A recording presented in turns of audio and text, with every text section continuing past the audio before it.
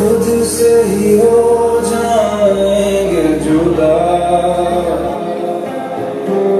क्योंकि तुम ही हो, अब तुम ही हो ज़िंदगी अब तुम ही हो। चैन भी, मेरा दर्द भी, मेरी आशिकी